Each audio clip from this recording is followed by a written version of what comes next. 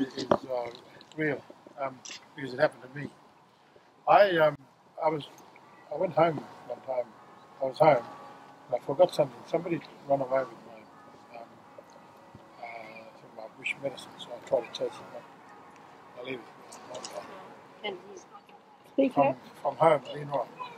And as I, as I went along, I couldn't catch him, so I come back. Driving along, and I see these lights.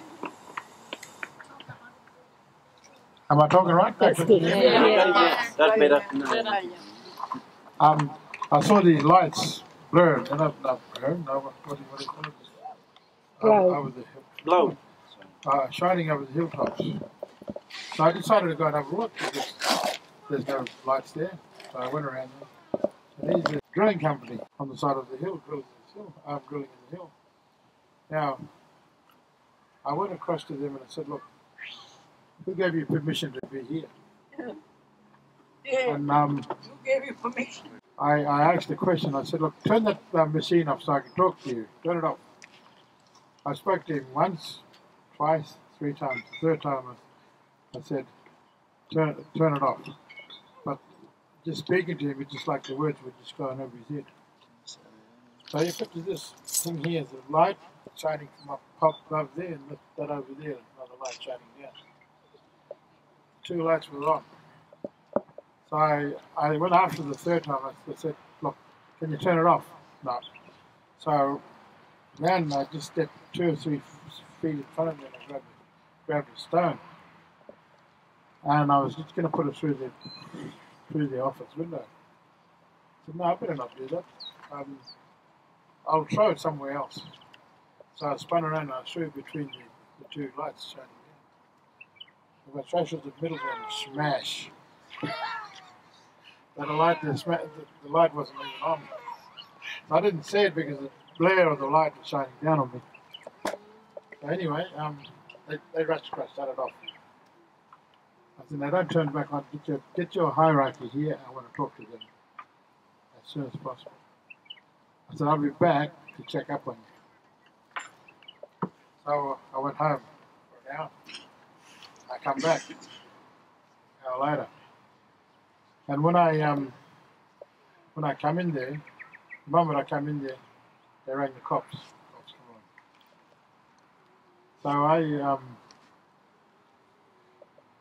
I think I, I I'm talking to these guys. Then the cop come along and started to ask questions. Did you do that?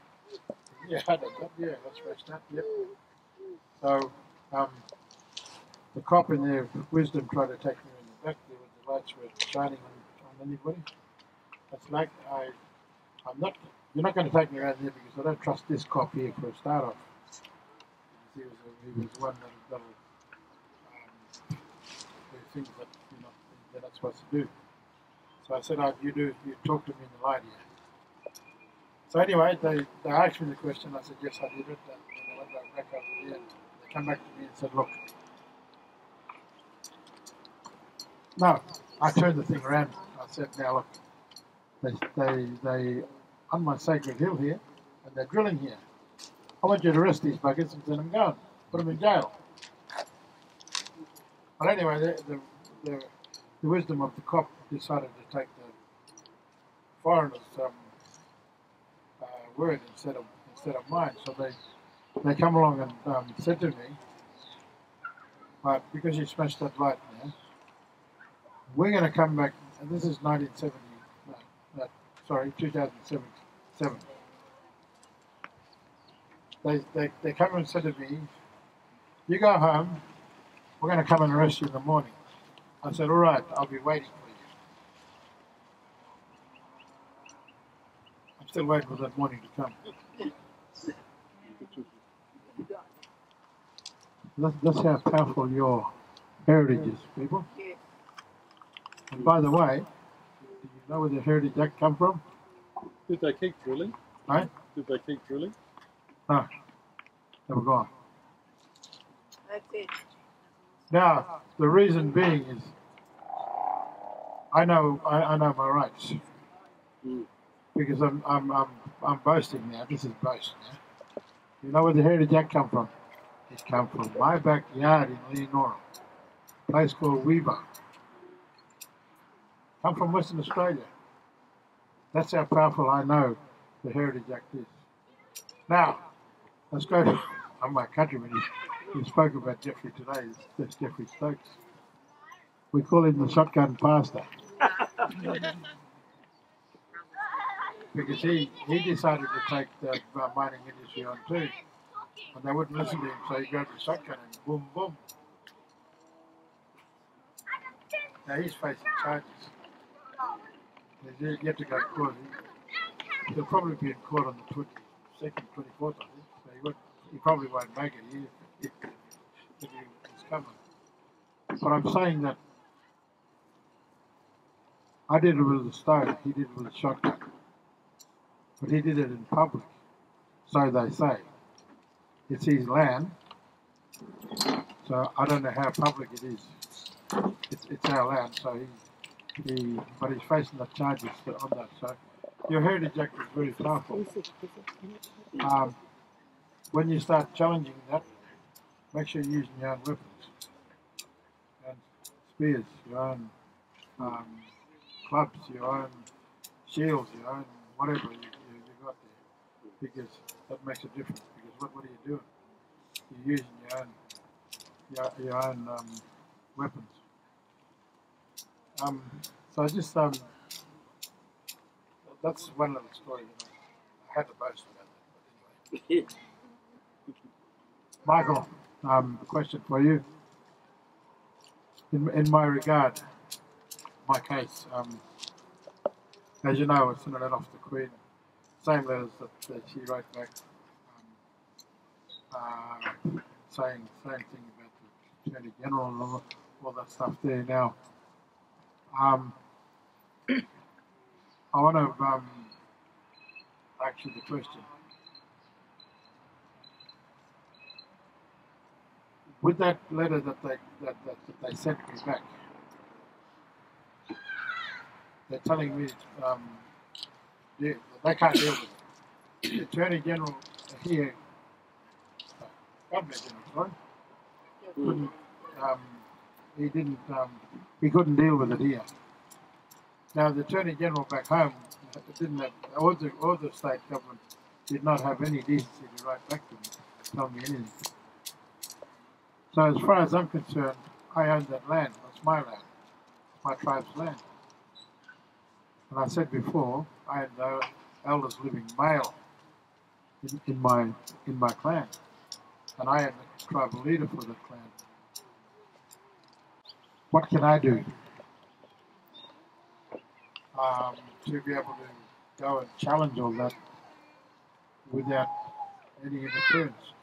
Um, there's going to come a um, highway between Winton in Queensland right through to Laverton, uh, north where I am, um, south, south me, southwest of me. They're going to put a highway through there. So you say that exclusive blue, um, what's name, belongs to those Aboriginal people there. Um, we need to put up a um, um, toll, toll bridges or toll something there. But I, I also want to do that to my place. Put a toll, toll bridge there so that they have to come through that. And all the, all the, even the back tracks, put one there just, just for the sake of putting it there. Um, with, with the evidence that I got from Queen and the, um, uh, the Governor General, is that possible for me to do that? Um, first of all, you have to tell us what you said to the Queen. Okay.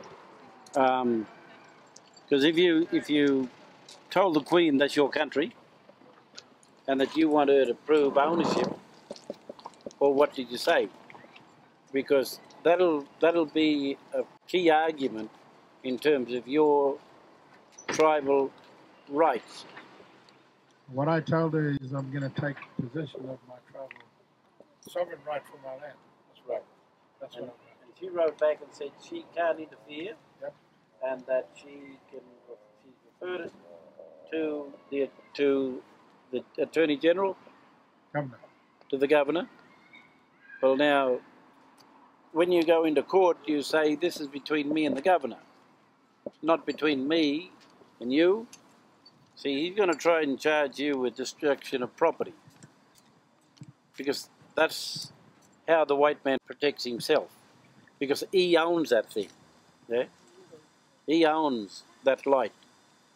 And he paid for that light. That, light is, is finished. Yeah, but- I'm talking about possession of my Yep. land. Oh, yeah, but he's, he's charging you, though, on breaking that light.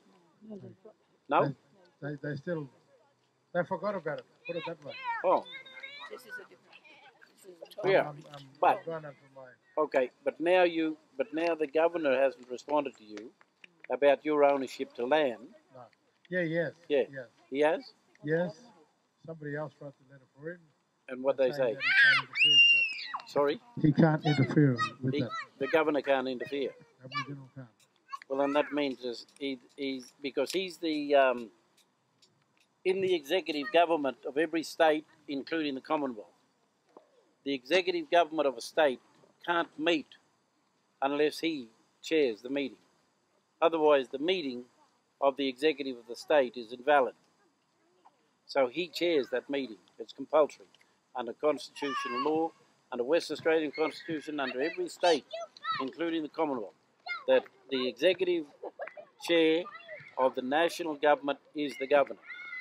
So if the governor's saying he can't do anything, believe it or not, he's speaking for the state as parliament as well. Right?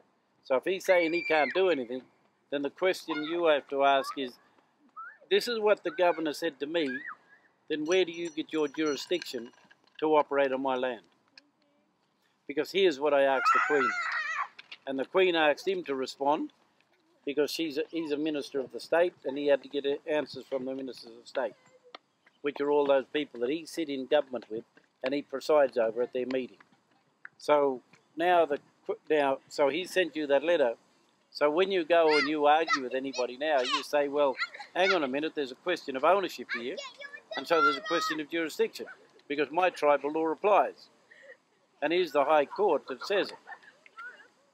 Mabo. Please quote Mabo because it's absolutely essential. And it says, and I said there, they did not get beneficial title. Beneficial radical title. Not is the key word. Not beneficial. The key word is not. And so they can't exec- exercise rights without your authority. And so when you go in there, you say, here, the governor said he can't deal with this, so he's speaking for the state. How can you, as a magistrate or anyone else who want to try and charge me, policeman, you can't deal with this? You go back to the governor and ask him what you gonna, what you got, what he wants you to do about it. These are the points that we have got to. We've got to the point where we can exercise those rights now. But like I say, there's not enough of us who know what those rights are. There's not enough of us. And if we had this school that we're talking about come up and let's start sitting down talking about those rights and identifying those rights, then we can roll those rights out all over this country. All over this country.